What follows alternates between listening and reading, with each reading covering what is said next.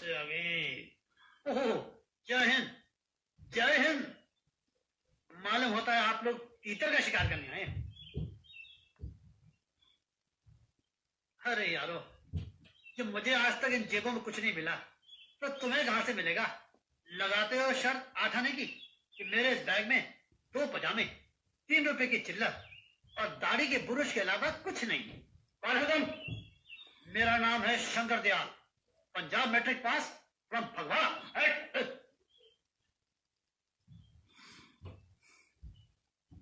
तो ये कोई पुलिस का आदमी मालूम होता है। बाकी तुम समझ लो।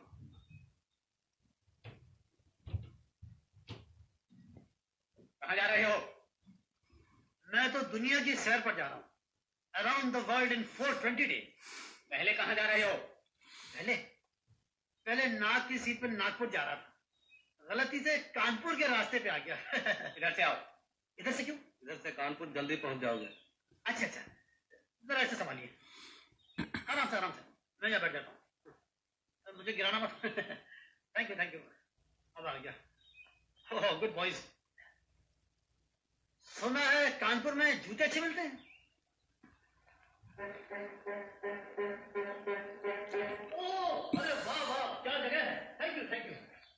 सब लोग यहाँ शिकार करने आए इसे कहाँ से पकड़ रहा है गुलाब सिंह?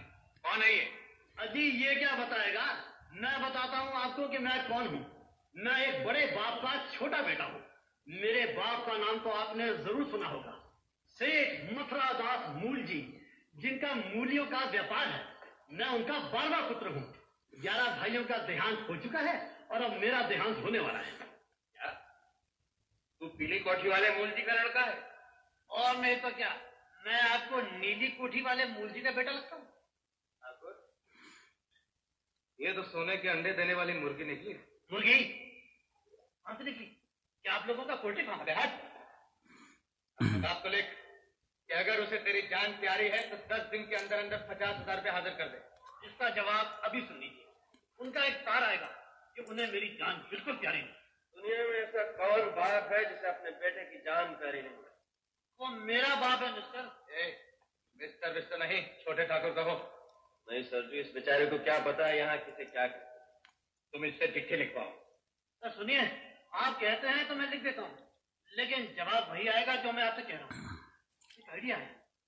आपको पचास हज़ार चाहिए ना मैं लाख रुपए के लिए लिखता हूँ। अगर आ गए पचास आप ले लेना पचास मैं ले लूँगा ठीक है? तो भाई चले यहाँ लंच ब्रेक का होता है। भोजन भोजन मुझे बड़ी भूख लगी। हम्म, तेरे बाप का जवाब आने के बाद भोजन मिलेगा। नहीं सरजू जब तक इसके बाप का जवाब नहीं आता कि हमारा मेहमान ऐसे किसी तरह की तकलीफ़ नहीं होनी चाहिए। अरे वाह वाह। आप तो बड़े नेक इंसान हैं। आप तो डाकू लगते ही नहीं। इन लोफरों के साथ कैसे आ गए थे?